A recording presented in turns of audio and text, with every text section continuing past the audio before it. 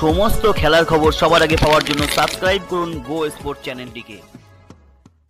Quarantine পর্ব সেরে বেশিরভাগ তারকাই অনুশীলনে যোগ দেওয়ার পর প্রথম প্রস্তুতি ম্যাচে নামে কলকাতা নাইট রাইডার্স।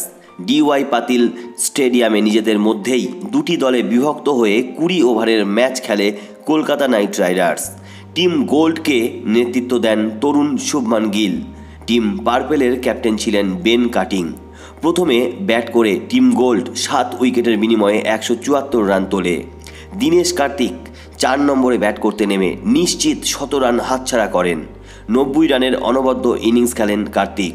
একেবারে শেষ ওভারে সন্দীপ ওয়ারিয়রের বলে আউট হন তিনি। জবাবে ব্যাট করতে নেমে টিম পার্পল সাত বলে বাকি থাকতেই জয়ের জন্য প্রয়োজনীয় একশো পঁচাত্তর রান তুলে নেয়। ক্যাপ্টেন বেন কাটিং ছক্কা মেরে match জেতান।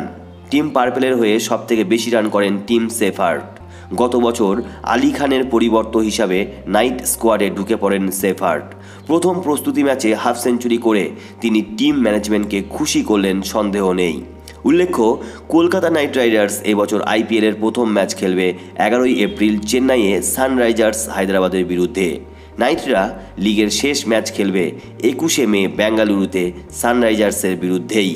Kolkata night Riders group লিগের ম্যাচগুলি খেলবে চেন্নাই, মুম্বাই, আহমেদাবাদ ও বেঙ্গালুরুতে। সো বন্ধুরা, এই ছোট্ট কিন্তু বিশেষ বিশেষ গুরুত্বপূর্ণ ভিডিওটি সকল বন্ধুদের মধ্যে শেয়ার করে তাদেরকেও জানার সুযোগ করে দিন।